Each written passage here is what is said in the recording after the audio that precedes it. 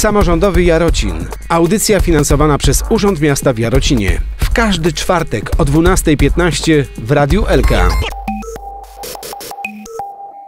Witam Państwa w nowym roku. Aldona Brycka-Jaskierska. Witam również burmistrza Jarocina, pan Adam Pawlicki. Dzień dobry, witam panią, witam państwa.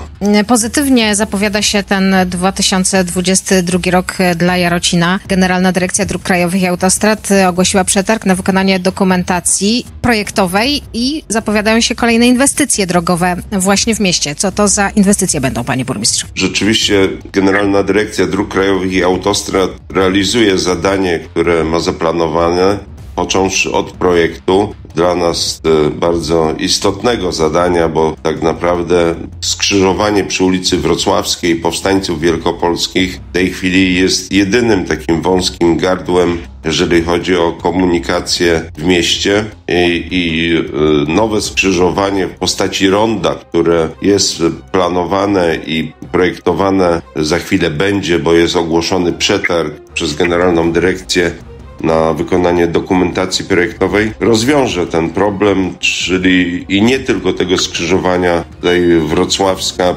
przy dawnym Jarkonie, ale też całego odcinka, począwszy od drogi krajowej numer, numer 12 przez łącznik Aleję Powstańców Wielkopolskich do ulicy Wrocławskiej z rondem zamiast skrzyżowania obecnego i przebudową całego odcinka od Jarocina aż do y, gminy Koźmin wraz z budową ścieżki rowerowej z Jarocina do, do Goliny przebudową skrzyżowań, budową, budowa y, zjazdów, prawoskrętów, lewoskrętów. Także myślę, że to rozwiąże rzeczywiście bardzo istotny problem tutaj na tej ruchliwej drodze numer 15 Jarocin-Wrocław. Czy mają Państwo informacje może kiedy ta inwestycja ma szansę być realizowana? Projekt to dopiero początek. Projekt to początek. W planach jest 2022-2023, więc no,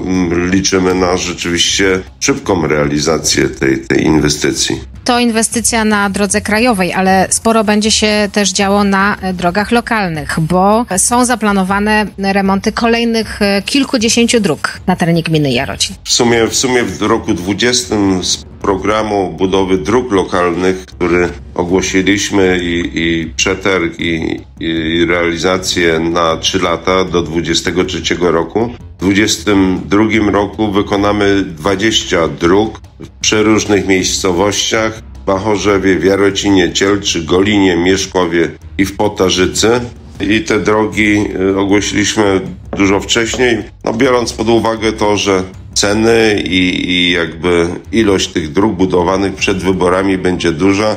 Dzięki temu uzyskaliśmy, myślę, że bardzo dobre ceny, które pójdą do góry, a tutaj już mamy zagwarantowaną jakby kwotę na ten rok do, do realizacji tych zadań. Dzięki temu też y, liczę, że y, wybudujemy taniej niż gdzie indziej to będzie, więc myślę, że to był dobry ruch i te zadania będą realizowane w 2022 roku. To będą tylko nowe nawierzchnie? W większości tak, ale też w niektórych przypadkach budowa kompletna drogi, która na przykład nie była utwardzona, jak Mieszków, czy, czy Golina, czy y, Cielcza.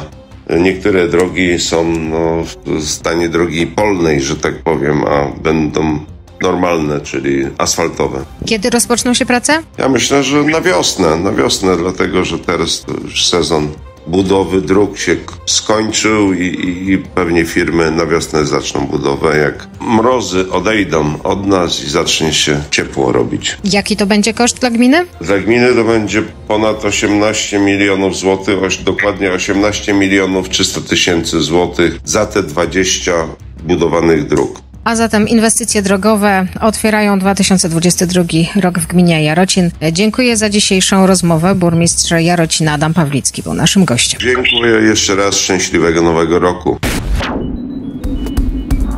Samorządowy Jarocin. Audycja finansowana przez Urząd Miasta w Jarocinie. W każdy czwartek o 12.15 w Radiu Elka.